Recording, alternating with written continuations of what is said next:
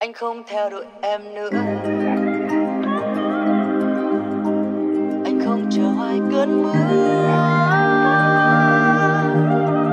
Anh không theo đuổi em nữa.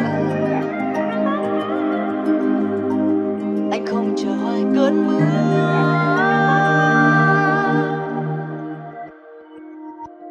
Anh giữ chặt trên tay món quà, mong ngày hôm nay nói ra những lời nói yêu thương cùng em.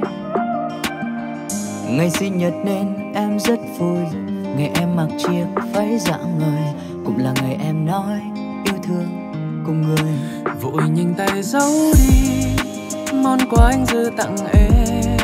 Sợ em sẽ biết tâm tư, nên anh đã giữ lặng im. Rồi quay lưng bước đi, xa vờ như chưa biết gì. Chạy thật nhanh hứa với lòng rằng hết hôm nay. Anh không theo đuổi em nữa. Anh không chờ hoài cơn mưa. Anh không cần quan tâm nữa. Khi những điều ấy bây giờ dư thừa, anh không theo đuổi em nữa. Anh không dạy khờ như xưa. Anh sẽ trở thành bản thân thay vì cứ mãi mong chờ cơn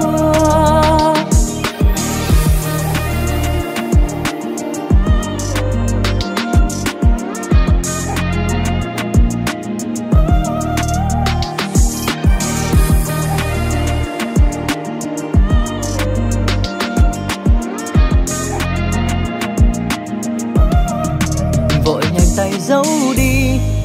Món quà anh dư tặng em, sợ em sẽ biết tâm tư, nên anh đã giữ lặng im, rồi quay lưng bước đi. Dạ vờ như chưa biết gì, chạy thật nhanh hứa với lòng rằng hết hôm nay anh không theo đuổi em nữa. Anh không chờ ai cơn mưa anh không cần quan tâm nữa. Khi những điều ấy bây giờ dư thừa anh không theo đuổi em nữa. Anh không dại khờ như xưa. Anh sẽ trở thành bản thân, thay vì cứ mãi mong chờ cơn mưa. Vậy là giờ ở nơi phố quen có một người chẳng còn mộng mơ. Sẽ chẳng còn nhiều đêm mong đến một chuyện tình thơ. Không theo đuổi em nữa. Không chờ hoài cơn mưa. Không cần quan tâm nữa khi những điều ấy bây giờ dư thừa. Anh không theo đuổi em nữa.